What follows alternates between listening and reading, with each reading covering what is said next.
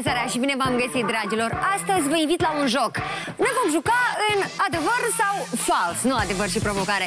Pentru că astăzi vom încerca să aflăm dacă multe dintre miturile pe care le avem din generație în generație, fie de pe internet, fie din cărți, sunt adevărate și vin să ne spună specialiștii. Sănătatea este mereu o temă bună pentru zvonuri, mituri și păreri. Iată de ce vorbele bune de astăzi au considerat de datoria lor să facă lumină printre cele mai frecvente și cunoscute afirmații legate de starea noastră de sănătate. Azi vă aduc o emisiune numai bună de privit cu toată familia, pentru că temele abordate vor fi atât de diverse încât ar putea acoperi întrebările tuturor. Pornim la drum cu medicul care ne asigură bunăstarea sănătății la nivel general. Împreună cu doamna Maria Golovaci, medic de familie, combatem sau aprobăm cele mai răsunătoare convingeri întâlnite printre moldoveni. Bună seara și bine ați venit! Mă bucur uh, foarte mult că sunteți astăzi alături de noi să zicem adevăr sau fals. Să încercăm. Uh, care e, uh, la, din experiența dumneavoastră, este cel mai mare neadevăr cu care vin uh, pacienții și zic, dar nu, că așa m-au auzit, așa mi-a zis mama, așa mi-a zis vecina și așa e drept. Cred că sunt mai multe situații. Îmi vine greu să aleg acum una dintre însele, dar probabil poate mă referi la vaccinare chiar, mm-hmm. pentru că mhm. este extrem de actuală și chiar ne creează probleme nouă medicilor din cauza că părinții mai mult ascultă, din păcate, internetul decât doctorul în ziua mm. de azi.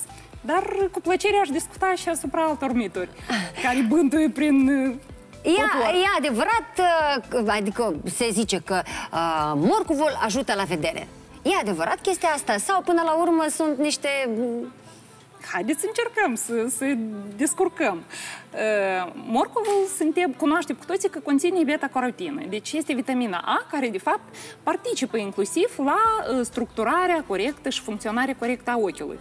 Dar cantitatea aceea care se conține în morcov nu poate influența în mod direct vederea. Poэтому, de ce eu aș spune că mm, este o afirmație falsă. Totuși, care este alimentul care întărește ochii și ne ajută să avem o vedere bună? În genere, uh, o alimentație corectă Uh, ajută la funcționarea întregului organism și eu n-aș putea acum să selectez Dacă o, așa, un produs, da, care ca noi să începem să a mânca în cantități uh, majorate ca să îmbunătățim vederea. Deci uh, sunt un șir de vitamine, sunt un șir de preparate medicale care ar putea îmbunătăți vederea, dar în primul rând pacientul trebuie să adreseze la medic ca să stabilească care cauza vederii scăzute. Eu tot timpul încă din, din școală, când îmi făceam lecțiile mele pe vremea în care se stingea lumină, nu citi la lumânare cât înrăutățești vederea. Fals sau adevăr? Ochiul obosește când privești, când citești în întuneric, da? El se forțează. Ă, asta la moment ă, poate provoca o diminuare a vederii, da? Pe o perioadă scurtă.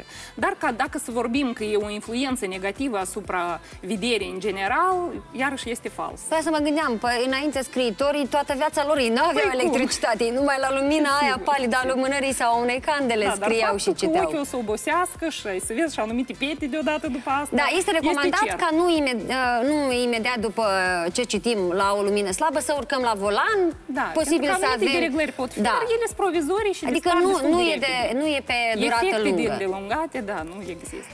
Toată lumea știe că nu, Doamne ferește să ieși din casă cu părul ud, că o să tragă răceală, o să tragă curentul, gata, leșinăm. ce facem noi la piscină?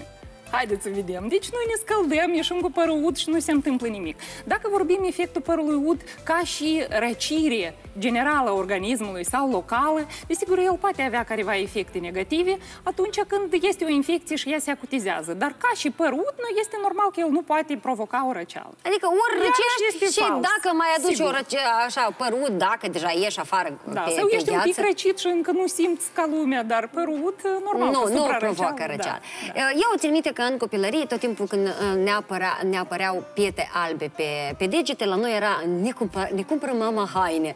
Însă da, da, se da, zice era. că prin popor că nu-ți ajunge calciu, trebuie să mănânci crietă. Uh, ce, Iarăși ce indică asta? Corect. Iarăși nu este corect. Eu chiar absolvind Universitatea de Medicină îmi puneam și eu întrebarea totuși de unde apar aceste punctișoare și până la urmă ele sunt efecte a unor microtraumatisme, uh, mai ales în zona bazală a unghiei și nici de cum nu este legată cu consumul sau deficitul de anumite elemente și minerale.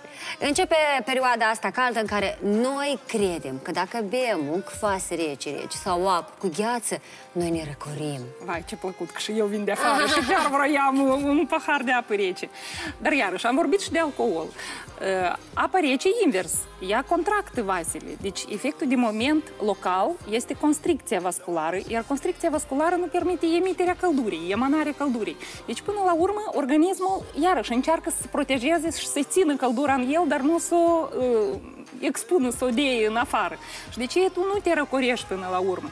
Și apropo, aici pot adăuga că, iată, în Caucaz să știe că persoanele în munți acolo, călduri mari, dar ei beau ceai, pe călduri de 40 de grade, și ei beau încă ceai stau cald. cu sumane de, Corect, de, de, de, blană. de blană. Deci, de ce se întâmplă lucrul ăsta? Ca să-și păstreze invers, invers căldura, pentru că uh, la consumarea băuturii calde, invers, organismul încearcă un pic să dilate vasele și căldura se emană, se răcește corpul. Uh, copiii, uh, de la ce vârstă ar fi bine să-i uh, să călim? Sunt uh, unele persoane care din prima săptămână uh, fac schimb de temperatură foarte mare pentru apa bebelușului. Sunt alții care nici acum nu-i scot e, uh, plus 30 fără căciuliță. Iarăși, depinde de tradițiile în familie, depinde de faptul, iar de patologia copilului, poate că s-a născut cu anumite probleme, cu anumite infecții și respectiv n-ai să poți expune procedurilor de călire deodată după naștere.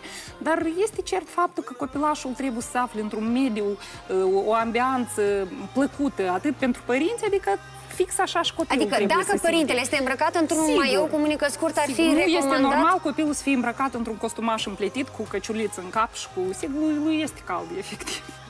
Așa. Da, Uh, Călirea cât mai e- precoce, cu atât este mai bună. În atât cazul mai bun. copilului sănătos, desigur. Uh, E drept că dacă copiii răcesc în copilărie mai mult timp, nu trebuie să ne facem griji. Asta este întărirea imunității și mai târziu, când va fi matur, nu va răce așa de mult. Adevărat? Foarte corect, Lilu. Eu îmi fac ruci pentru că ale mele răcesc mult și zic, ele când o să fie mari, nu o să răcească. Da. Deci, ce se întâmplă? Copilul când este mic, el își formează imunitatea. Deci, dacă primul an el mai, a- mai are ceva imunitate de la mămica, uh, transmis transplacentar, ulterior, după un an, el deja nu mai are și el și-o recapătă prin uh, infecții. Deci, făcând infecție, organismul uh, formează anticorpi către această infecție și tot așa, de obicei, până la vârsta de 6-7 ani, deja copilul are contact cu majoritatea infecțiilor care sunt posibile pe lume și deja își formează această imunitate. De ce mămicile să nu retrăiască când este vorba de gâtișorul în sucul, chiar și o leacă de tusă, este ceva firesc și uh, chiar în studii internaționale este stipulat că 4, 5 până la 10 infecții pe an sunt uh, fiziologice și normale pentru un copil în așa vârstă. Așa, și eu mă bucur pentru că eu nu sunt genul de mamă care alerg la medic chiar în- din prima zi când a Corect. apărut. Uh, Dacă 5 zile se, se menține deja, atunci încep să... uh, Depinde, să, depinde, depinde și de situație, copil da, și nu de vreau să mamă. dau careva recomandări, că să nu se adreseze la da, medic, că Eu, totul eu este fac ceea corect. ce simt pentru că simt da. și înțeleg ce, ce se întâmplă cu uh, cel mic al meu. Re, în copilărie am căzut uh, toată viața, da, uh, genunchii mei sunt ca de fotbaliști care au jucat fotbal pe asfalt. Uh, noi, uh, în prima instanță, puneam pătlagina. Cât de utilă este patlagina? Murdare mai ales, foarte Ei, ei utilă. uneori mai spălam la fântână. Ei, uh, patlagina are și ea efectele ei terapeutice, dar cred că în zilele noastre ar fi mai util să utilizăm uh, niște remedii mai moderne de aplicare asupra plăgilor. Uh, Dacă să vorbim în genere despre faptul cum trebuie îngrijite plă- plăgile în mod deschis da, sau cu oamenii, oamenii pansament. zic că, că e mai Da, bine totuși- deschis. Totuși, deschis, rana are risc de a se infecta. Trebuie să recunoaștem acest lucru. De ce oricare prelucrare cu un dezinfectant a rănii, spălarea, în primul rând, a ei, prelucrare fie cu apă oxigenată, fie cu verde brileant, cu iod, sunt diferite. Uh, și aplicarea unui pansament, adică unui emplastrum, ca să protejăm de infectarea această plagă. Atâta timp cât Dar este se usucă plagă. la Deja- fel de repede sau un pic e mai îndelungat Uh, deja usucă- procesul? La aer deschis ea se usucă mai repede, dar asta tot nu este bine, pentru că se formează o crustă, sub crustă nu este aer, acolo se formează puroi și așa mai departe, se mulțesc microbiși. Și uneori faptul că se formează o crustă atât de repede pe fond de uscare la aer Lasă semne. liber, orice cicatrici rămâne, unele dispar, unele rămân mai mult timp, dar Trebuie să aplicăm corect pansamentul, să prelucrăm plaga și atunci o să fie minimalizate efectele urâte Căzăturile, efectele da. copilăriei, vrem, da. nu vrem, asta e, sau efectele căscăciunii, că noi suntem... Da, cel puțin noi femeile, mai am eu o gașcă de fete care tot timpul, dar eu nu știu, uite, eu nu știu de unde e asta, chiar nu știu, am încercat să-mi amintesc. Pot și eu să-mi caut, am și eu de este M-am atins.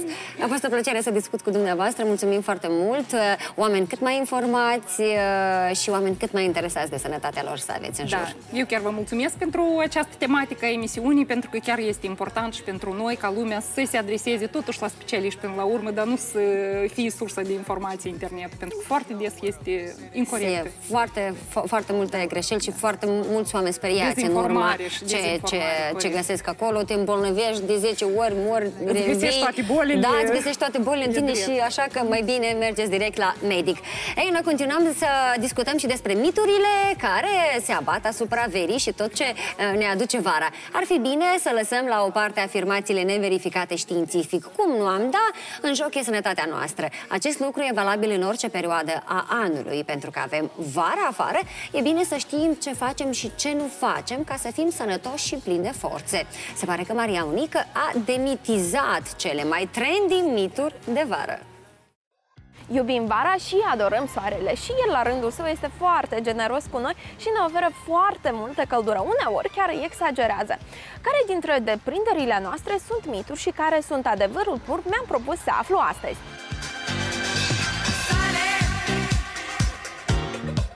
Am lăsat baltă presupunerile și am mers să aflu răspunsul la întrebări de la un specialist. Principalele reguli au fost enunțate din start.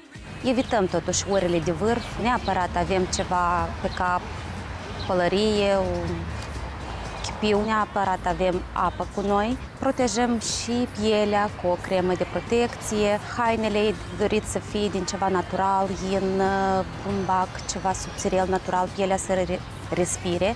Un fals este și faptul că nu te poți arde la soare dacă ești deja bronzat. O arsură puternică crește riscul de cancer la piele. Arsurile de piele pot provoca apariția pigmentației, pot apărea în urma descoamărilor masive, pot apărea cicatrici, uh, pot apărea apariția nevilor. Parțial adevărat este și faptul că aerul condiționat te îmbolnăvește, la fel ca și afirmația că avem nevoie de minim 2 litri de apă pe zi. Fiecare persoană se hidratează în funcție de necesitățile organismului. Important este nu este indicat lichidele foarte reci. Ele nu, nu potolesc setea. E bine să fie lichidele care conțin ceva fructe, ceva legume, castravetele. Lichidele puțin sărate mă um, ajută la rehidratarea organismului. Aveți grijă de voi în sezonul estival, nu uitați nici de crema cu factor de protecție care trebuie aplicată cu 20 de minute înaintea expunerii la soare pentru a-i permite să pătrundă în piele. În ritmul nebun al vieții noastre, odihna începe să capete o importanță tot mai mare. În ultimul timp, mii de moldoveni nu au somn noaptea. Ce obiceiuri proaste produc tulburările de somn, dar și ce putem să facem ca să dormim ca niște bebeluși? Aflam astăzi de la un medic somnolog, domnul Adrianu Pușor. Vine să ne facă poftă de somn și să ne învețe cum să dormim mai bine. Bine ați venit! Luați loc pe canapea pentru că avem foarte multe mituri la acest uh, capitol. Uh, e adevărat că toți oamenii, dacă fac exerciții, se pot trezi de dimineață? Sau totuși sunt persoane uh, mai mult în regim de noapte cu cuvele și sunt uh, cocoși? E adevărat. Uh, putem împărți oamenii în, uh, de fapt, trei categorii. Trei? Uh, da. Deci care sunt trei? Uh, privighetorii, sunt bufnițele și sunt oamenii care au un, uh, un regim intermediar. Uh, de fapt, cred că viața modernă ne-a făcut acum să fim bufnițe, cred că până acum majoritatea au fost uh, priveghitori, fiindcă așa era ritmul social, era vorba de mm, agricultură preponderent și oamenii se trezeau des dimineața ca să ajungă în câmp când încă nu era soarele foarte fierbinte. Dar acum, odată cu descoperirea curentului electric, apariția luminii artificiale, noi am uh, derapat de la ritmul biologic normal și acum sunt și așa și așa. Cu toate că ritmul uh, social ne dictează să fim totuși uh, uh, privighitori, fiindcă asta este și un ritm normal, fiindcă atunci intrăm în concordanță cu uh, factorul principal care ne dictează ritmul Soare. nostru, lumina. Aha, Lumina. lumina. noi, Sau în, absența ei. În creierul nostru avem o glandă pineală, uh, un mic uh, ceasornic, care este legat și cu m, alte organe importante din creier care uh, generează acest ritm fiziologic, ritm circadian îl numim, care este compus din zi, noapte, activitate și odihnă. Și în momentul când uh, începem să dereglăm prin abundența de lumină artificială, se dereglează mai multe ritmuri, inclusiv și ritmurile fiziologice care țin de uh, foarte multe procese care au loc în paralel în organismul nostru. Așa, dacă um, uh, eu știu că cea, cel mai bun somn și cel mai calitativ este cel între ora 10 și 1 noaptea. Este o Ia- întrebare care îmi- îmi pun mulți, chiar și studenții. E adevărat că mai bine să dormim în prima noapte? Deci răspunsul este că nu. Uh, Somnul nostru are uh, o ciclitate și are o structură foarte um, um, fixă. Deci somnul este compus din două faze principale. Somnul uh, lent și somnul paradoxal, când visăm. Și aceste două faze se um, alternează pe parcursul întregii nopți de 5-6 ori. Și atunci, um, în prima jumătate a nopții, noi mai mult dormim în somnul cu unde lente, când uh, se, organi- se odihnește mai mult fizic organismul nostru. În timpul ăsta copiii cresc, fiindcă se elimină hormonul de creștere și părinții noștri au avut dreptate, desigur, Da. când spun că O trebuie să, dormit. dacă o să dormi, o să, crești mare. Da. Uh, Iar în a doua jumătate a nopții, deja preponderent este somnul REM, numit sau somnul paradoxal. Uh, Mhm. Este- REM, REM este- din engleză se decifrează ca mișcările rapide a globilor oculari, când ne uităm la om și Când merg. Da. ochii se Deci, mișcă ca... Conform scenariului visului. Și în această perioadă, creierul nostru își pregătește um, substratul sau psihologia pentru a doua zi, fiindcă deseori visăm cei ce am suportat sau emoțiile de cu zi, iar în timpul somnului REM, creierul cumva pune pe policioare emoțiile, încearcă cumva să găsească soluții la problemele pe care le-am acumulat pe parcursul zilei și plus asta memoria. Um, în timpul somnului REM, memoria este consolidată, deci în uh, fișierele de scurtă durată, de temporary files, deci trece în fișierele de lungă durată, să spunem așa. Și de aceea orice parte a somnului este important. Deci și prima jumătate a nopții și a doua jumătate a nopții sunt la fel de importante. Există oameni care nu visează? Nu, visează toți, numai că nu toți își țin minte visurile, fiindcă, vă ziceam, în somnul REM, noi visăm. Atâta timp cât este somnul REM, visurile sunt, mai mult ca atât, acum au găsit cercetătorii că visăm și în somnul non-REM. Practic, visul este, um, zicem, o oglindă a activității creierului nostru în stare de somn, fiindcă până acum, sau nu până acum, mult timp se credea că somnul este ceva pasiv, acum ai demonstrat că somnul este un proces foarte activ, în timpul căruia organismul nostru uh, reușește să facă foarte multe procese și, în special și psihicul nostru, atunci se restabilește. Deci, somnul este, visele, pardon, sunt uh, niște procese asociate acestor uh, activități în timpul somnului, a creierului. Se zice că noi nu putem să visăm colorat, dar eu jur că am văzut rochia aia în vis și era colorată. Probabil putem visa și în color. Da? Probabil. Nu, nu, nu, nu știu precis Nim- la această nimeni- întrebare, dar A- a- asta fiindcă este- noi în medicina somnului mai puțin ne ocupăm cu visele, deci visele țin totuși de psihiatrie mai mult sau de alte domenii, pa- pa- de paramedicale. Noi ne străduim să ameliorăm calitatea somnului ca pacienții să se odihnească și a doua zi să fie apți de activitățile somnului. Din experiența dumneavoastră, moldovenii au probleme cu somnul. Desigur că trăim în același mediu ca și oamenii din, uh, din anturajul modern, uh, fiindcă, ce să vă zic, um, nu de mult uh, ascultasem un profesor din state care a făcut o cercetare la niște aborigeni din Africa și n-a depistat tulburări de somn atâta timp cât oamenii trăiesc în condițiile normale cu iluminarea normală care este generată de, de soare, de întuneric, trăind în condițiile noastre când avem multă lumină, mult stres și multă obezitate, tulburări de somn sunt la același nivel ca și în alte țări europene. Cea mai mare problemă a Insomnia. noastră, insomnia. Nu Insomnia. putem adormi. Da, e o problemă pe mapamon, pe primul loc, din tulburări de somn, fiindcă, iarăși, uh, nu respectăm orele de culcare fix, ne culcăm fiecare zi la ore diferite, uh, stăm până în uh, adânc în noapte cu uh, o sursă de lumină, fie telefonul, Gadgeturile, fie smartphone telefoane. care emană o lumină de spectru albastru care inhibă secreția melatoninii și de aici se dereglează întreg procesul ritmului circadian. De asemenea, suntem până în seara târziu cu griji, pe când seara ar trebui să fie o perioadă de, um, um, de trecere de la activitate la somn și atunci mergem adânc în noapte cu griji și creierul nu știe să se deconecteze și rămânem în, în somn să continuăm activitatea mentală pe care am făcut-o. Deci, practic, acești doi factori, lumina artificială, stresul și, respectiv, nerespectarea igienei somnului, trei, de fapt, deci fac ca oamenii să sufere m, foarte frecvent de insomnie. Cu toate că citisem uh, prin unele interviuri, gen oamenii de succes dorm puține ore pe noapte. Um, exact, deci depinde foarte mult de organismul nostru. Sunt cazuri um, la extreme, Adică sunt oameni care dorm foarte mult ca să simtă bine 10-11 ore, sunt unii oameni care dorm 3-4 ore. Adică astea 7 ore nu e o normă pentru fiecare. Este o medie. Este o medie. Cum sunt oamenii au în jur de 1,70 m în mediu, dar sunt și 2 metri, sunt și de 1,40 m. Deci, de aceea somnul foarte mult um, uh, depinde de modul nostru de viață. Adică în cazul când noi ducem un mod de viață sănătos, ne alimentăm corect, avem sport, avem activitate și organismul nostru este um, cumva echilibrat în aspectul ăsta, noi putem să reducem orele de somn atâta timp cât ne simțim bine. Deci, primul lucru care trebuie să ne pună în gardă uh, legat cu somnul este să ne trezim obosiți. În momentul mm. când ne trezim obosiți, a doua zi suntem somnoroși, înseamnă că ceva nu este bine uh, cu somnul. În cazul adulților, în cazul copiilor, fac deodată paralelă, deci de obicei devin uh, foarte uh, uh, neascultători, nu pot să-și găsească loc, nu pot să-și termin, devin hiperexcitabili, care dorm puțin. Mm. Uh, și atunci iarăși ne punem uh, întrebări de ce copilul se comportă așa, probabil cumva nu doarme sau nu calitativ sau prea puțin. Și practic uh, în cazul ăsta putem să reducem orele de somn. Sau sunt oameni care uh, cred că se recuperează mai repede în, în somn și au nevoie mai puțin. De fapt, fiecare de noi, dacă chiar și să vă întreb câte ore aveți nevoie ca să dormiți, să vă simțiți bine, îmi spuneți o cifră mm, relativ concretă. Da, da, da. Deci, cam... 6-7, exact. cam, cam așa. Somnul de weekend recuperează ceva? Uh, deci... Ne aduce un plus. Chestia este că somnul nu poate fi uh, înlocuit cu nimic. În cazul când noi dormim uh, cronic mai puțin decât trebuie, înseamnă că noi să tindem să recuperăm datoria de somn. Și ceea ce fac, de exemplu, bufnițele, oamenii care se culcă târziu, în zilele de lucru trebuie să se trezească de vreme și atunci ei dorm puțin um, pe parcursul săptămânii și ei tind cumva să recupereze orele nedormite în timpul weekendului. Ar fi o, o ieșire în situație, dar mai bine să ne facem cumva regimul ca să avem orele uh, dormite suficient în timpul săptămânii.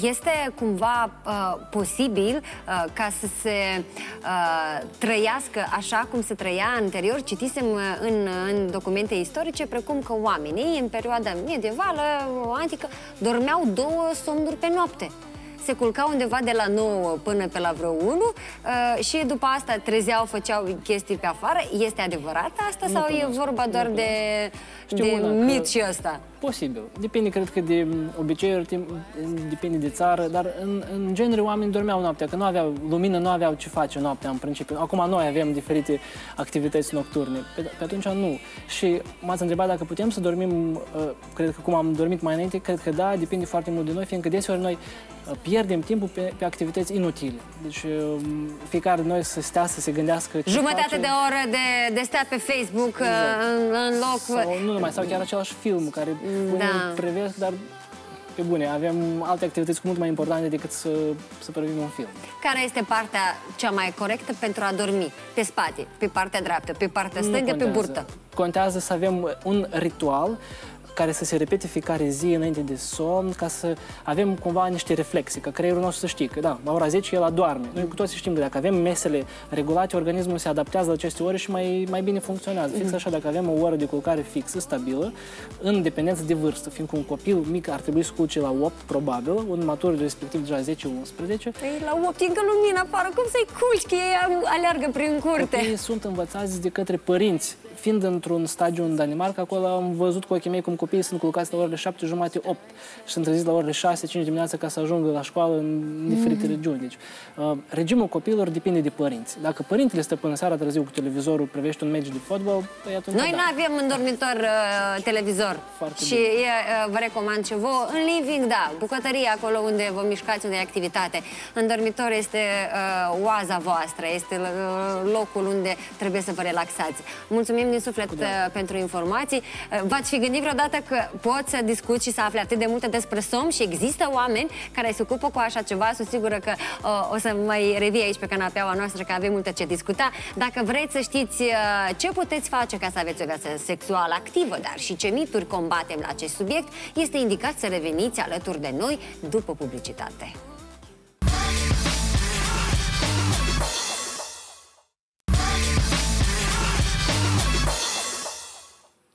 Am revenit din nou în casele voastre și astăzi vorbim despre mituri și încercăm să aflăm, este adevăr sau fals de la specialiști.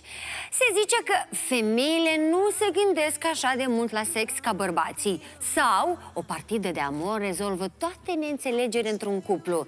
Zic astăzi să aflăm ce este legendă și ce este adevăr în aceste fraze. Facem acest lucru împreună cu sexologul Mariana Sivirenco, care revine alături de noi. Bună seara, bine ai venit! venit! Здравствуйте.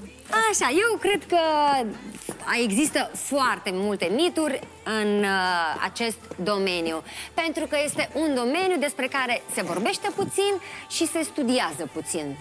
Да, но Лилу нужно сначала понять, что такое миф, потому что многие могут посчитать, что миф это сказка, mm а миф это представление человека о мире, в котором он пребывает. Конечно.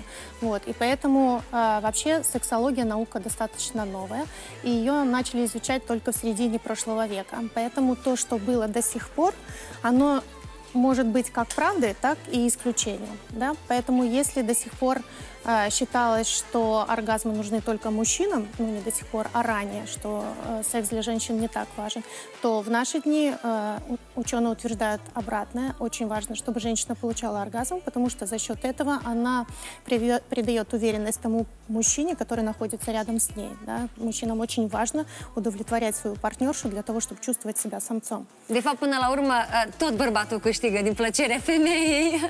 Я думаю, что занятие любовью, да, это игра двоих, поэтому оба должны получать от этого удовольствие. А, что care, care este cel mai mare mit pe care iată То, что да, секс может заменить поход в спортзал. Ага. А, в принципе, если вы никогда не ходили в спортзал, то да, конечно же. А, но представьте себе, чтобы а, сбросить полкилограмма, нужно а, сбросить 3,5 тысячи килокалорий. Угу. На это уходит уйдет достаточно много времени, да, за один контакт, за один угу. акт э, человек сбрасывает в среднем 85-150 килокалорий. А, а эти да. vorbe 4-5 партиды. Это в том случае, вы понимаете, это в том случае, если секс длится полчаса. А, да. варианта лонга. Конечно, а он, в среднем половой акт длится 5 минут, к сожалению, такова статистика. Поэтому представьте себе, сколько раз нужно заняться любовью для того, чтобы потерять эти полкилограмма. Ну, мы dormim noaptea. Ну, нужно заниматься просто регулярно и не стоит сексом заменять э, поход в спортзал. Угу. Более того, чем чаще человек ходит в спортзал, тем больше у него уровень тестостерона и больше ему хочется заниматься любовью. Что э, может быть выгодно как и одному, так и другому партнеру в том случае, если не оба ходят в спортзал. А, есть же еще один миф о том, что мужчинам секса нужно больше, чем женщинам. Это является заблуждением, потому что у каждого из нас есть своя половая конституция. И она бывает трех видов. В том случае, если э, встретились э, две половинки, одна с сильной половой конституцией, другая со слабой половой конституцией, то в этом случае мужчине, если у него сильная половая конституция, секса нужно будет больше. А женщине, соответственно, меньше не потому, что она его не любит, а потому что изначально у нее такой вот уровень либидо. Да? А, а представьте себе, когда наоборот в паре. У женщины сильная половая конституция, а у мужчины слабая. Что происходит? В этом случае женщине нужно секса чаще и больше. Да? Поэтому опять происходит дисбаланс. Его нужно каким-то образом регулировать, э, или женщине приходится сублимировать эту энергию и как-то ее э, переводить в другое русло. Ну, Бог нам дал детей, и мы, конечно же, направляем свою, свою любовь и энергию на воспитание. Вот. Мужчинам же, в свою очередь, если им хочется больше, вот, а женщина занята не дает, то что в этом случае они делают? Или они уходят головой в работу, или они думают, что займусь-ка я спортом, а когда они занимаются спортом, опять же вырабатывается тестостерон, хочется еще больше, и вот такой нарастает ком. Очень важно, чтобы женщины обращали на это внимание и вовремя умели нейтрализовать, скажем так, вот эту вот бомбу, которая растет в мужчине в этот момент. Mm-hmm. Uh, sexul în timpul ciclului. Не э, однозначно э, утверждение, что в этот период женщина может э, не предохраняться, и это убережет ее от беременности.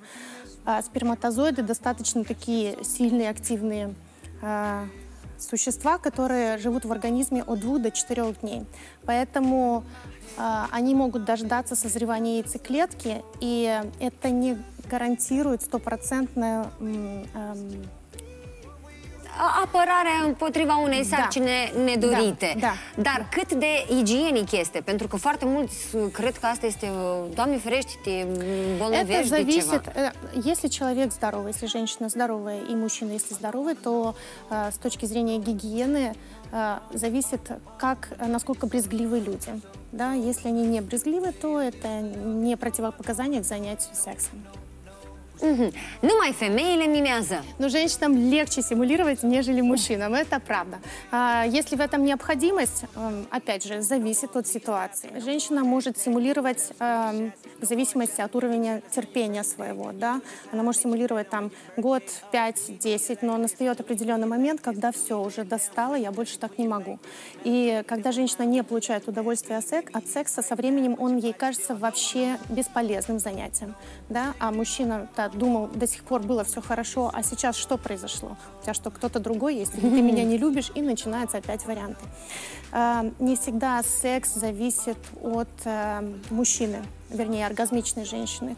Оргазмичная зависит от самой женщины, насколько она открыта, насколько она любит себя, насколько она умеет расслабиться. И также вот существует миф о том, что размер имеет значение. И вот если у мужчины он достаточно достаточный, вот тогда женщина может получить оргазм. Это неправда. Женщина получает оргазм а, от уровня своего, своей пробужденности. Если она расслаблена и в свое время она исследовала свое тело или ей попался опытный партнер, да, в этом случае женщина получает оргазм. Но не от мужчин он зависит изначально. Mhm. Ziceai de, de educație. Um, Este o perioadă în care uh, și fetițele și băieții încearcă să se joace cu organele lor sexuale. Noi, părinții, bunicii, interzicem. Citisem în foarte multe cărți de educație că nu ar trebui să facem asta pentru că așa creștem iarăși o generație de oameni inhibați, oameni care ajung să, să aibă traume pă, psihologice și oameni care sunt nefericiți când cresc mari pentru că nu știu să primească plăcere. Да, конечно. Вот бабушки, например, воспитывали, говорили, не трогай, потому что выпадут или волосы, или ногти, да. И все, у ребенка формируется убеждение о том, что это плохо, это вредно. Или девочкам тоже ставили запреты, руки положи на одеяло, ни в коем случае. А это физиология, это нормально познавание своего тела, и это происходит именно в возрасте там 7 лет, когда происходит половая идентификация, 5-7, да.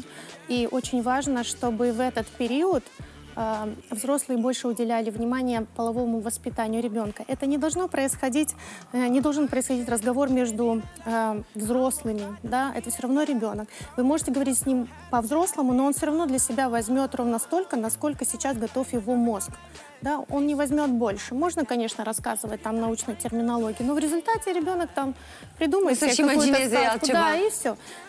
Родители должны быть открыты э, для разговора об этом. Cum să le E- spună? Ce, ce, ce să le explice, iată, unor copii de 5-7 ani, ce fac ei acolo? Все должно быть естественно. Что они делают там, мы занимаемся любовью. Папа любит маму, а мама любит папу. Nu, ce face el cu mâinile la organele lui? А, Что рассказывать? Рассказывать, что это то, что в дальнейшем будет доставлять ему удовольствие и то, от чего в результате могут появиться дети. Да, то есть отнеситесь к этому достаточно спокойно, ни в коем случае не должно быть каких-либо там истерик, ты что творишь, как тебе не стыдно и так далее. Наоборот, спокойнее отнеситесь и не придавайте большого значения при ребенке, да, не акцентируйте на этом внимание, просто периодически посматривайте, наблюдайте, что дальше происходит. Когда это гипер, да, тогда стоит ребенка а, обратить внимание на то, что происходит в семье, да, посмотреть, какие отношения у родителей, потому что э, есть эм, такое происходит, когда мальчики э, слишком много уделяют внимания этому месту, да, они нервозны. В этом случае стоит обратиться к психологу, к детскому, и понаблюдать за ребенком, э, посмотреть, чем он, о чем он думает, э, чем дышит, в каком состоянии находится, в каком обществе он крутится, кто его друзья, кто э, с кем общается и так далее. То есть на это надо уделять внимание. Не надо при ребенке на это акцентировать, но быть очень внимательным. Unul dintre miturile renumite, dacă tot la copii trecem încă când, Mhm. când sunt concepuți, dacă faci sex în apă, nu rămâi gravidă.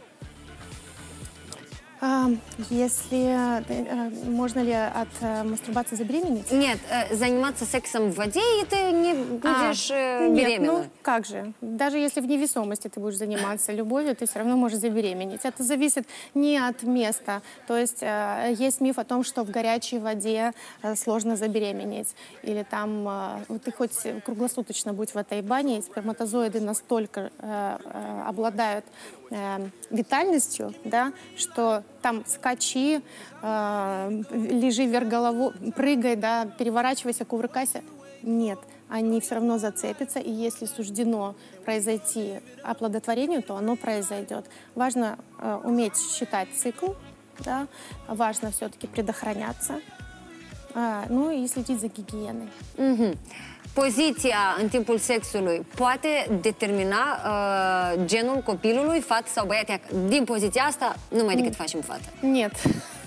Нет, вот это однозначно нет.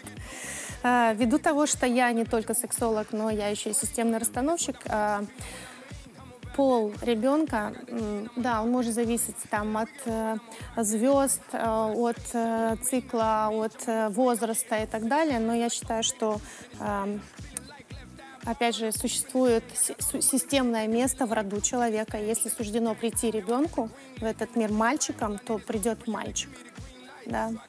Și numai ai poți să, să stai măcar, cum, cum a zis, în, în pod, în aer. Dacă așa e вот dat, позиция așa однозначно не имеет значения. Конечно же, э, сейчас наука идет вперед, и она рассчитывает все-таки, э, ну, у нас ученые хорошие и могут э, на 90% определить пол ребенка, и- но все равно остается определенный процент, который неоднозначный. Se întâmplă, asta e. e. Să mai lăsăm loc și pentru minuni în viața noastră, pentru că altfel controlăm totul și nu e chiar bine să fim pe deplin Dumnezei.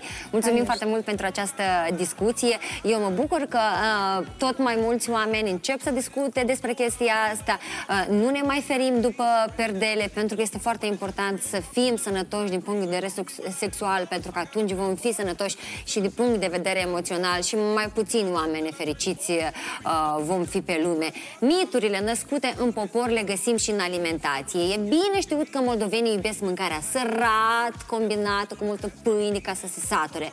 Să vedem cât de sănătoase sunt activitățile din spatele învățămintelor populare. Există o mulțime de idei greșite implementate în conștiința oamenilor. Azi elucidăm câteva mituri alimentare cu ajutorul unui specialist în nutriție echilibrată. Și o să începem cu zicala mănâncă tot din farfurie ca să crești mare, legenda preferată a părinților. Dacă avem o farfurie mare și atunci uh, alegem să o umplem și apoi să, să o mâncăm pe toată, de fapt uh, este că porția noastră depinde de farfurie și nu de noi. Se recomandă să avem trei mese de bază și două gustări. Bea lapte ca să ai calciu, să crești mare. O fi adevărat atâta timp cât creșterea se produce pe orizontală și nu pe verticală. Uh, Ne mai vorbim de calitatea lactatelor care noi avem în ziua de azi pe uh, rafturile din magazin. Uh, nu putem vorbi de un calciu de calitate acolo și nu putem în general vorbi de uh, uh, calciu și oase puternice din contul brânzei și a laptelui. Avem nevoie de proteine pentru organism și proteinele, în viziunea oamenilor, vin doar din carne. Dar, de fapt, proteina se găsește și în alte surse. Se găsește în uh, albuși de ou, se găsește în uh, linte, năut, fasole, mazăre galbenă, adică sunt mai multe surse. Tofu, același tofu și dacă alegem să mâncăm din sursa animală carnea, uh, iarăși riscăm să uh, dereglăm digestia și îmbătrânim mai repede dacă consumăm carne în fiecare zi. Sarea în bucată este celebra poveste a copilăriei în care se subliniază importanța și valoarea sării în alimentație. De fapt, sarea este un mineral care se află în uh, alimente și în, în uh, legume și în alte produse care sunt în starea lor primară, în starea lor naturală, e deja există. Uh, dacă mâncăm în exces sare, atunci uh, reținem lichide, uh, începe să avem probleme cu articulațiile, adică nu este atât de benefic. Trebuie să fim atenți cu asta. Ai grijă la ceea ce mănânci și cât mănânci, pentru că o alimentație sănătoasă îți poate prelungi viața. Să fii însărcinată înseamnă să ai pe capul tău o grămadă de stereotipuri, zvonuri și mituri care se transmit din generație în generație. Astăzi discutăm cu două mămici moderne despre ce știu ele despre sarcină, ce au auzit și ce nu fac în ruptul capului. Daniela Clim și Oxana Dosca sunt aici alături de mine și vreau, uh, vreau să văd uh, frumoasele mămici. Luminează, mămici cu burtici. Bine ați venit! Salut, Salut. bine v-am găsit! Bine v-am găsit. Așa, uh, câte, câte săptămâni stau aici la, la voi? Deci stau uh, 32 de săptămâni. Așa, aici. frumos. 36 de săptămâni. 36, luați loc acolo da, pentru că știm uh, comoditatea contează cel mai mult. Am trecut și eu prin această uh, perioadă frumoasă și atunci toată lumea vine cu sfaturi. Voi, de câte ori ați fost sfătuite ce trebuie să faceți și ce nu trebuie să faceți? Eu fiind, de exemplu, la treia sarcină, am auzit foarte multe, dar niciodată n-am ținut cont de ele. Ca de exemplu, acum, fiind la treia sarcină, m-a întrebat câte kilograme ai adăugat până acum? Eu, zicându-le doar 5 kg, reacția a fost Cum? 5 kg? Desigur că am dat și un răspuns pozitiv, pentru că eu mă gândesc că în timpul sarcinii alimentația contează foarte mult și cred că trebuie să ne hrănim cu ceea ce are nevoie bebelușul nostru și viitoarea mămică și consider că excesul de grăsime în timpul sarcinii poate dăuna. Cum? Tu n-ai mâncat pentru doi? Nu, n-am mâncat. Eu nu țin cont. Păi da, trebuie să, să, să, să nu te vezi uh, de, de gravidă ce ești. Tu, draga mea, care a fost uh, uh, cuvântul care s-au... Deci da, eu sunt de acord cu colega mea. Deci, într-adevăr, mâncatul pentru doi este un mit și mă, ne străduim să consumăm cât mai multe alimente sănătoase, să fim pozitive, să fiu fericită, încerc să mă bucur de tot ce mai frumos, nu cred în povești, în mituri. Deci vreau să fiu pozitivă, bebelul să fie și el pozitiv. Se zice că în sarcină, Doamne ferește, să te tunzi. Uh, eu, Voi ce eu, credeți eu, asta? Da, eu, eu consider că ăsta e un mit. Eu, de fapt, nu m-am tuns pentru că am promis soțului că îmi cresc păr lung și ah. mă fac blondă după ce nasc. Uh. și de asta, da. De fapt, consider că e un mit. Adică nu, la prima sarcină m-am tuns și copilul e destul de ok. Am Așa. o fetiță frumoasă. Exact la fel. Um, când mi s-a spus că vei să ai grijă să nu te tunzi, că scurtezi viața copilului. Este adevărat un mit, pentru că consider că copilul are personalitatea lui și ce are el de trăit va trăi. Mm-hmm. Uh, toată lumea când îmi vedea burtica, e, fată, băiatul să fie specialiști. Ei după forma burtii sau poziționarea, ei, ei știau ce porți acolo tu sub inimă. Uh, uh, voi Da, ați, da, chiar și mai că mi-a testat, nu numai, nu numai după forma burtii, știu că dacă e mai, mai țuguiată, mm-hmm. e băiat și dacă e mai rotundă, e fată. Mm-hmm. La mine, de fapt, așa și a fost, dar consider că doar e o coincidență. Chiar și zile trecute mama zice, hai să vedem că ce spune la ultrasunete una, e dar, una? da, să vedem. M-a culcat așa pe pat și zice, a pus o ață în ac, să vedem acul cum să, dacă, ah. dacă faci cercuri, fată, mi se pare că și dacă se învârte așa Aha, se ca pendulează? ceasul, da, da, bendulează, e, e băiat. Și de, de fapt, acul stătea pe loc, nici nu se mișca. Nici încolo, nici încolo. Măi, acul se supune gravitației, stă. Da, exact, exact. Deci, iară se, se demonstrează că e un mit. Așa, uh, trei. Uh, îmi dau seama că ai avut tu ce analiza și compara. Uh, exact. Eu n-am crezut în acest mit. Uh, unica în ce am crezut uh, doar în ecografie. Mm-hmm, mm-hmm. Uh, sexul în sarcină interzis. Doamne ferește, dar ce simte acolo copilul? Care... Sexul în sarcină este permis, doar de, și chiar recomandat de către medici, numai că deja depinde de soț. Cât... Cât, cât de, cât de curajos Da, și cât de non-afectat emoțional exact. poate, exact. uh, po- poate fi. Uh, voi uh, ești la prima sarcină? A sau? doua. A doua A doua. sarcină. Uh, ați primit soții sau ați rugat soții să fie alături de voi la, la nașterile anterioare? Soțul meu a participat la prima sarcină, la doua n-a reușit de motiv că a fost totul rapid și Adică i-a plăcut și a spus că la treilea mm-hmm. neapărat va participa. Păi a, asta vreau să zic, pentru că foarte mulți bărbați au impresia că după asta nu vrei să mai vezi femeia asta știind mm. ce se întâmplă cu ea. Alții însă devin foarte fideli și abia atunci înțeleg Apreciază. cum să prețuiască o femeie, mm-hmm. pentru că vede prin ce dureri și prin ce schimbări fiziologice poate să treacă o femeie. Da, la mine, de fapt, soțul nu a asistat la naștere, mama, uh, am hotărât că mama asistă. Uh, Eu consider așa, dacă soțul asta își dorește, lasă-l să asiste, să vadă. Dacă e, nu știu, e frică, nu știu. A zis că ține minte când a văzut un pic de sânge că a curs la o operație care au avut-o mai în adolescență, a leșinat. Și îți dai seama la o naștere ce ar face. și mai bine decât să consulte doctor, să știi cine are, are de Da, pe asta să țină pe mine decât, sau decât să aibă doi să aibă pacienți, mai mai bine bine rămâne unul. cu... Așa, cofeina.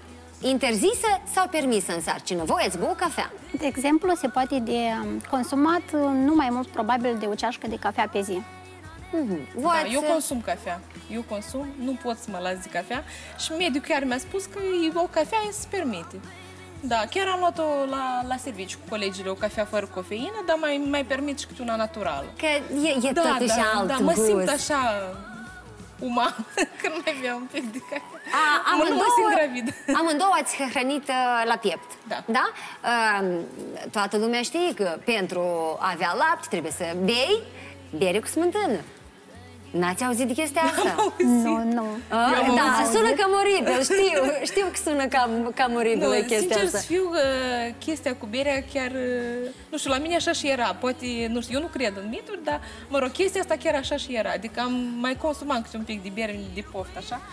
Și, adică, da, într-adevăr, stimulează lactația, nu știu, poate o coincidență. Dar voi, ce, ce alte alimente sau uh, produse, uh, băuturi uh, ați consumat ca să aveți mai mult lapte? Sau era de mu- destul și nu la știați mine cum era să opriți? destul, da, nu știu cum să-l opresc. La mine tot era suficient, dar uh, mama mea deseori îmi gătea zi, îmi spunea cu cât mai mult li- lichid eu consum, cu atât mai mult lactație apare. Mhm, mhm.